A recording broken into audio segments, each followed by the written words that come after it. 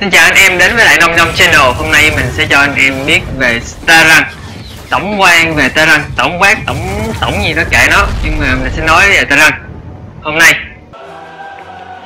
Staran uh, ờ, nó đã quẩy tung Coro Corublu được một thế kỷ rồi. À, Khi đầu tiên chúng ta đổi bộ lên đây Thì họ phải sinh tồn bằng những gì mình có.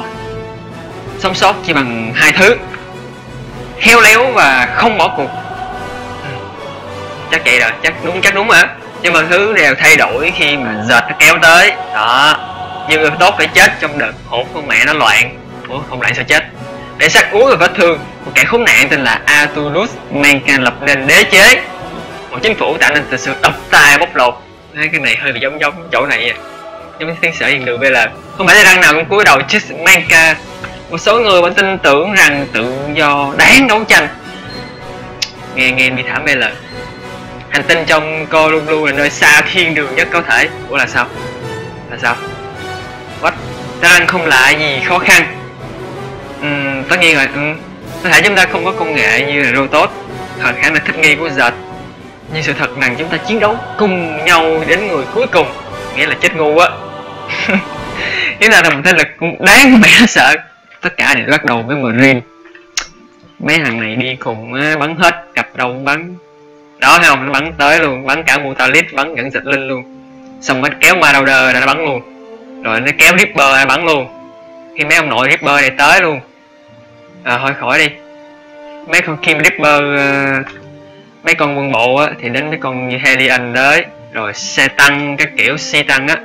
Rồi nhưng mà quân bộ thôi không đủ quân không. Banshee có thể bắn lén bằng cách tàng hình. Viking thì có thể biến thành từ máy bay thành robot. Bạn thấy không? Rồi cuối cùng là phần con kém quan trọng trên trời là mấy ông nội Medivac, bắt khả năng vận chuyển và chữa quân cho chúng. Cực kỳ kinh dị khi chúng ta nên bị cứu tinh trong những trận đấu căng thẳng nhất. À, khi mà các bạn ờ, chán đánh kiểu đó các bạn mua gót ra thấy không? Gót nó vẫn theo các bạn rất thấy tàng hình. Gót là những trinh sát có thể hết sọc cách sao bạn dặm. À, thôi một dặm thôi nha. Đấy.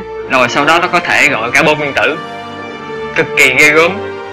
Nó mang này nguy hiểm BL rồi thêm một cái nữa công nghệ cao của ta đang nữa là Raven.